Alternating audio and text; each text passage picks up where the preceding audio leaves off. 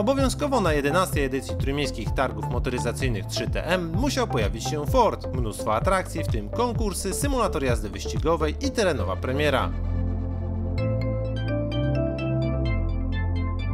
Jak co roku jako Ford y, uczestniczymy w trójmiejskich targach motoryzacyjnych. Jak co roku przygotowaliśmy także konkurs, symulator jazdy z wirtualną rzeczywistością. Osoba, która osiągnie danego dnia najlepszy czas okrążenia, otrzyma voucher na Mondeo hybrydowe z pełnym bakiem paliwa na cały weekend.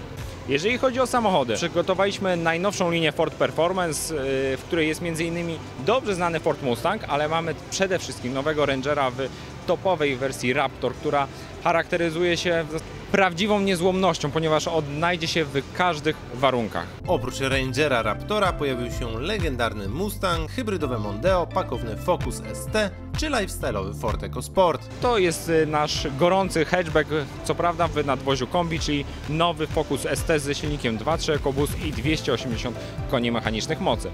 Ponadto nasze stoisko e, uzupełnia Mondeo w wersji hybrydowej i nadwoziu kombi. Jak co roku na stanowisku Eurocar tłumy odwiedzających mogliśmy się również dowiedzieć coś więcej o najnowszym modelu Puma, który zaraz zawita w salonie Ford Store w Gdyni. To jest w zasadzie crossover pozycjonowany nieco wyżej niż EcoSport. Charakteryzuje się jeszcze większą ilością miejsca, jeszcze większą praktycznością i co najważniejsze zwiastuje zawitanie nowych technologii w Fordzie, szczególnie jeżeli chodzi o system napędzania. Targi targami, ale przede wszystkim zapraszamy do naszego salonu Ford Store Eurocar w Gdyni, który mieści się na ulicy Owsianej 13, gdzie można zobaczyć praktycznie wszystkie nowości, które tutaj mamy i oczywiście się nimi przejechać w miarę możliwości.